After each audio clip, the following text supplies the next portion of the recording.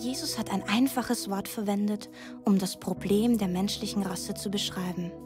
Dieses Wort ist Sünde. Ursprünglich haben Bogenschützen das Wort verwendet, um zu beschreiben, was falsch gelaufen war, wenn der Pfeil nicht die Mitte der Zielscheibe getroffen hatte. Zu sündigen bedeutet, das Ziel zu verfehlen, das Gott für uns geplant hatte. Die Wahrheit ist, dass alle gesündigt haben und die Herrlichkeit Gottes nicht erreicht haben. Wie können wir dann von der Sünde geheilt werden? Die Bibel gibt uns die Antwort. Nur durch das Blut Jesu. Wie empfangen wir dieses Geschenk? Kehre um von deiner Sünde. Bitte Jesus dich zu erretten. Er lebt, ist gegenwärtig und bereit, es zu tun. Bitte ihn im Gebet. Tu es jetzt.